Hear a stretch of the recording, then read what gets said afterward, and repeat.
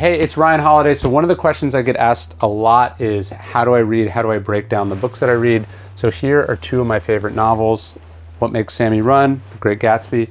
And so you can see as I'm reading, I'm either using highlighter flags, I just mark the pages and I highlight. And then what I do is I tend to write notes to myself, like, look, there's whole pages of notes. You can even see this book I've read multiple times. So I've gone through with highlighters, different colors over the years. I'm going through and I'm just marking things that I want to come back to later, that I want to think about later, and then I'm going to use later. So again, another novel. This is The Moviegoer. I've written about this for Daily Stoic a bunch of times.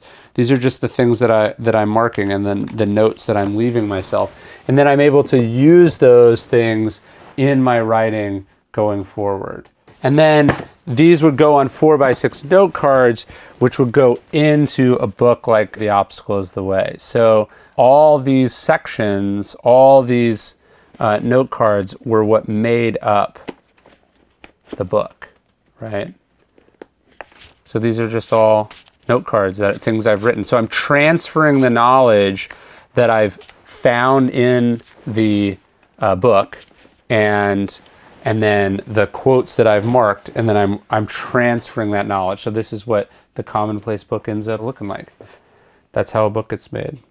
But I don't think you just have to do this for books. I mean, I would be engaging in this process even if I wasn't a writer, just because it helps me synthesize and organize and and and and recall the information that I'm figuring out in my reading. But the point is, like when I see a copy of one of my books and it's filled with notes and highlighters and folded pages, that's not doesn't hurt my feelings as an author. That's like the highest praise that you can give a book. So um, tear your books apart, mark them, write in them, show the author that you're really engaging with the material. This is a, an incredibly meaningful thing you can do. This is high praise. This is my life bookshelf, some of the books that have changed my life and had the most influence on me. The Power Broker by Robert Caro, 48 Laws of Power, The Black Swan, Life is Unpredictable, Chuck Palahniuk's Fight Club, Four Hour Work Week, huge. Uh, 33 Strategies of War, obviously Robert Greene's Mastery. Pia Mellody, one of my favorite authors. This biography of John D. Rockefeller, maybe you remember it from The Obstacles Way. This book by John Boyd, if you remember the to do or to be speech that's in, the that's in Ego is the Enemy, that's from there. Malcolm X, the autobiography. Great Gatsby, What Makes Sammy Run. A friend of mine recommended this biography, William Lee Miller, on President Lincoln. It was one of the books that changed his life. It totally changed how I thought about leadership. The War of Art Turning Pro, two favorites from Steven Pressfield. Haruki Murakami's book on running, what I talk about when I talk about running. Ellison's Invisible Man. Again, another book from Pia Mellody. Cheryl Strayed's Tiny uh, Beautiful Things. Thich Nhat Hanh's Taming the Tiger Within. The Brass Check. This, this book inspired the name of my marketing company and my book, Trust Me, I'm Lying. This is one of my copies of Meditations. Why Don't We Learn from History by B.H. Liddell Hart. A Prescription for Adversity, a strange book, biography of Ambrose Bierce that I like.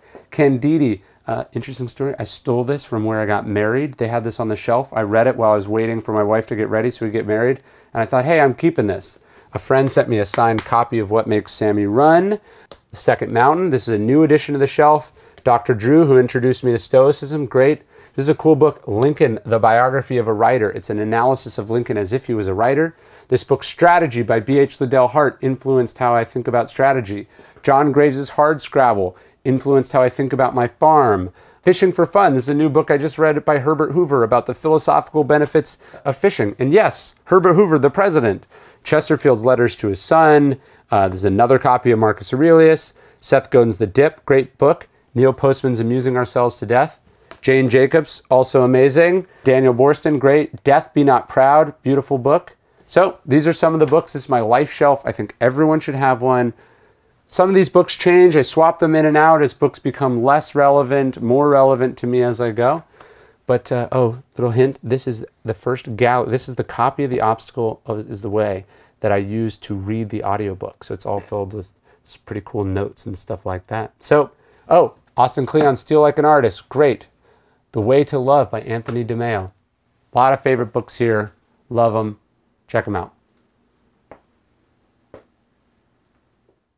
One of my favorite novelists said that if you only read the books that other people are reading, you will only think the things that other people are thinking. So, how do you cultivate a sort of contrarian reading habit? How do you find hidden or unknown books? How do you find things inside books that other people are missing? How do you build a reading practice in your life that makes you a better thinker, a better philosopher, a better human being? That's what we're talking about in our daily Stoic Read to Lead reading challenge. Every smart person I've met, every real, inspiring, successful leader I've ever met has a great reading practice.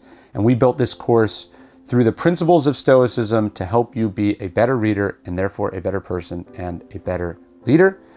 And you can check that out at dailystoic.com slash reading. They're the practices that I use, the practices that people you admire use, the practices that Marcus Aurelius and Seneca and Epictetus used. All great readers and therefore better leaders. So check it out, dailystoic.com slash reading. You will be challenged by this. I'm not saying it's easy, but a better you will come out of the other side.